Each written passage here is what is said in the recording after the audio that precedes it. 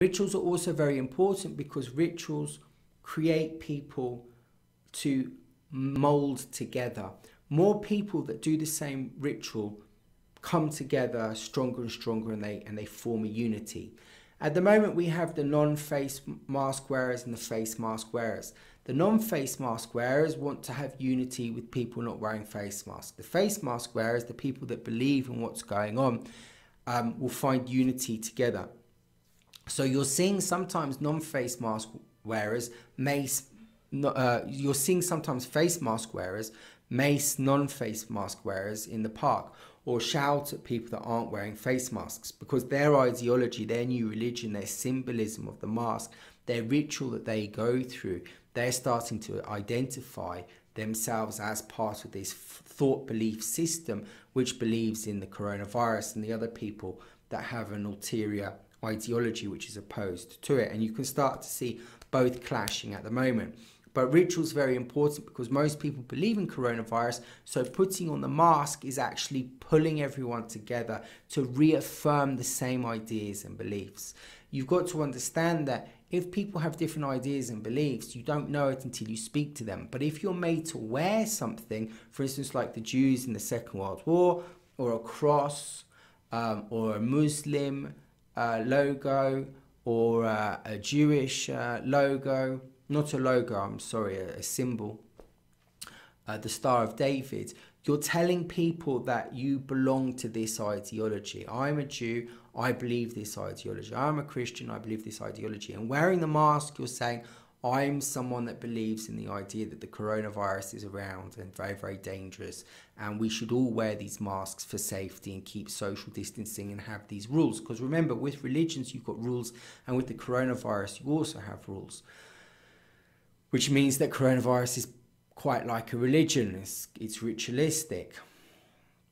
So the the introduction of these symbols reaffirms to yourself and other people and solidifies those ideologies, making that ideology stronger. Usually, when you have a ritual, you need something to sacrifice.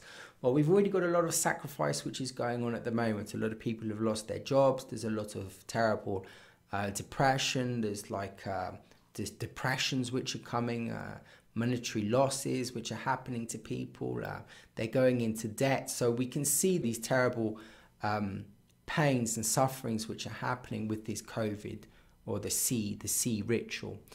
But uh, you know, the Christians always like to say, yeah, but you know, for it to be satanic, we need to get the, the animals out. A lot of animals are dying at the moment, actually.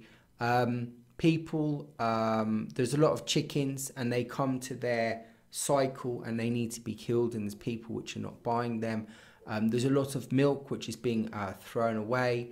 Um, cattle are being depopulated um, and slaughter, slaughters being done in the name of COVID. So if you want to think that COVID is a religion, then you do have your sacrifice within the religion as well. Within religions, you've got the rituals. So in the Abrahamic and uh, most, I think, other ones, Hindu and Buddhist, you've got the washing of the hands.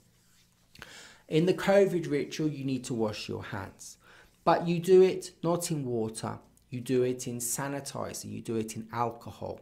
Now, alcohol and water are two completely different things. Water allows things to grow, it allows um, life to happen. Alcohol kills things. So you're washing your hands with a killing agent, not with an agent like water, which creates life. So you can see the inversion which is going on there. You can also see um, the initiation of baptism. So um, when you baptize somebody, you wash them with water. Now we wash the entire body with alcohol. The other thing about washing as well is that you clean, you get, you get rid of stuff um, it flows away from you. I wash my hands of this person, it flows away. When you wash with sanitizer, the bugs or the virus still stay on your hands. You're not washing, you're keeping on your hands, but killing. So, in other words, if you want to really push the boat out, you're carrying death on your hands, but death in sort of germ, germ way, not in animal way and stuff like that.